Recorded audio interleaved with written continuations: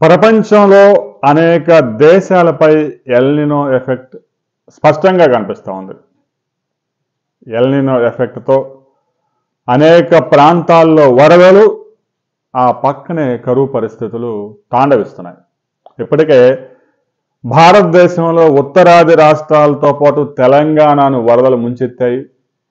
తెలంగాణలో కొన్ని ప్రాంతాల్లో జూలై చివరి వారంలో ఇరవై నాలుగు గంటల్లోనే అరవై సెంటీమీటర్ల వర్షపాతం నమోదైంది.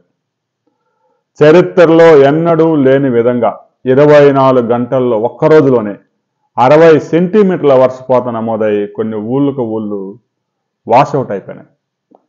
ఇలాంటి పరిస్థితులు గమనిస్తూ ఉంటే ఇది ఖచ్చితంగా ఎల్నినో ప్రభావం అని నిపుణులు ఆందోళన వ్యక్తం చేస్తున్నారు. ఇక భారతదేశంలో కొంతవరకు వరదలు శాంతించాయి అనుకోగానే చైనాలోని ఉత్తర ప్రాంతంలో ఉత్తర ప్రావిన్సుల్లో వరదలు విరుచుకుపడ్డాయి చైనా రాజధాని బీజింగ్లో కూడా వేలాది కార్లు వరదల్లో కొట్టుకుపోవడం మనం కలరా చూసాం ఇవన్నీ ఎల్నినో ఎఫెక్ట్ అని చెప్పడానికి ఎలాంటి అనుమానం లేదు. ఎల్నినో ప్రభావంతో రాబోయే సంవత్సరాల్లో వ్యవసాయ రంగంలో గణనీయమైన మార్పులు తీసుకురావాల్సిన అవసరం ఉంది. సాధారణంగా రైతులు పండించే విధానాలు సాధ్యం కాకపోవచ్చు. ఉష్ణోగ్రతలు ఇప్పటికే విపరీతంగా పెరిగిపోయాయి. పది సంవత్సరాల కిందట భూతాపం పర్యావరణంపై ఫ్రాన్స్లో జరిగిన ఒక సమావేశంలో అనేక దేశాల శాస్త్రవేత్తలు ఆందోళన వ్యక్తం చేశారు.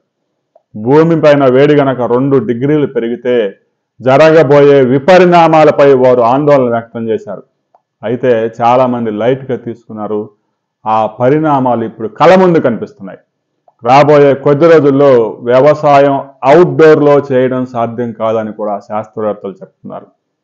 షేడ్ నెట్ తప్పనిసరి కానుంది. షేడ్ నెట్ ఉంటేనే పంటలు పండే పరిస్థితికి వచ్చింది. ఎందుకంటే దాదాపు నలభై యాభై రోజులు వర్షపాతం అసలు నమోదు కాకుండా పోవడం ఆ తర్వాత ఒక వారం రోజులు కుండపోతగా వర్షాలు పట్టడం. ఇవన్నీ వ్యవసాయాన్ని మరింత క్లిష్టతరంగా మారుస్తున్నాయి. ఒకేసారి వర్షం గుమ్మరిస్తే భూసారం అంతా కొట్టుకుపోయి భూములు నిస్సారంగా మారుతున్నాయి. మరోవైపు నలభై రోజులు యాభై రోజులు డ్రై స్పెల్ అంటే ఒక్క చినుకు కూడా లేకపోవడం వల్ల పంటలు పండించడం సాధ్యం కావడం లేదు. రైతు సోదరులు నలభై యాభై సంవత్సరాల వ్యవసాయంలో అనుభవం ఉన్న వారు కూడా ఇలాంటి పరిస్థితులు ఎన్నడూ చూడలేదని చెప్తున్నారు.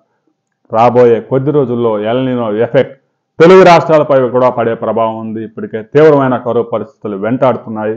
మరో వారం పది రోజుల్లో రాష్ట్రంలో వ్యవసాయ పరిస్థితి ఖరీఫ్పై ఒక నివేదిక విడుదలయ్యే అవకాశం ఉంది. ఆ నివేదిక తర్వాత మరిన్ని వివరాలతో మరో వీడియోలో కలుసుకుందాం. వీడియో నచ్చితే లైక్ చేయండి షేర్ చేయండి సబ్స్క్రైబ్ చేసుకోండి.